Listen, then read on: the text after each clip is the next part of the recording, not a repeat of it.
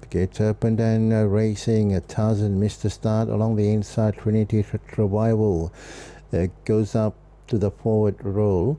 Running second is Resolute. Mr. Paul Andre is hustling forward along with Ready to Roll. Then came Sedan, Race for Fame, Tarzan, and just last is Satar.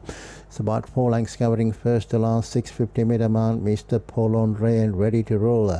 They are matching motos. Traveling third over the outside is Sedan on the fences. Trinity Travel, rather Trinity Revival. Then came uh, Race for Fame and Tarzan approaching the top of the straight and along the inside Trinity Revival Chess has it over Race for Fame Mr. Paul Andre then came ready to roll over the outside is Sata Sedan and uh, along the uh, on the outside is Resolute 150 meters left to go many chances Race for Fame is in front Slim lead Revival is Trinity Revival kicking back but Race for Fame wins over Trinity Revival third was Mr. Paul Andre fourth Sata then came a resolute Tarzan Sedan, and last was ready to roll.